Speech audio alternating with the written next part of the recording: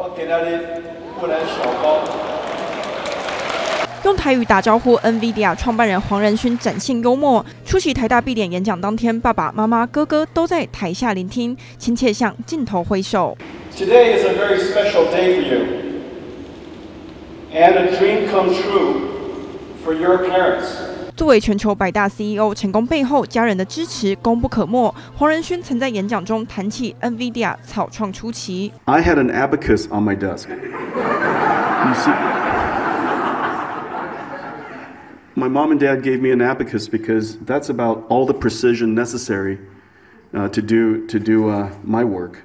而一切起步在于黄仁勋化工工程师出身的爸爸决心要送他和哥哥去美国。当时根本不会英文的妈妈开始手把手教兄弟英文。而黄仁勋也在美国求学期间认识了现在的老婆。青涩照片曝光，二十多岁的黄仁勋与大学初恋 Rory。当时黄仁勋就承诺会在三十岁时拥有自己的公司。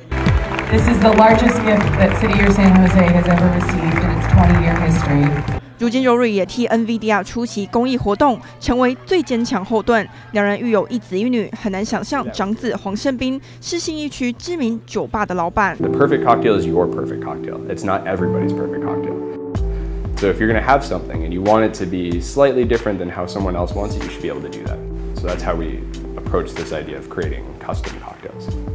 不靠父亲光环，透过科技管理中西合并的风格经营，获得富比士评比亚洲最佳五十间酒吧之一。就连台积电创办人张忠谋都竖起大拇指，称赞他是杰出企业家。而黄仁勋女儿从事饭店业，AI 教父家庭成员神秘背景，随着黄仁勋返台受到关注。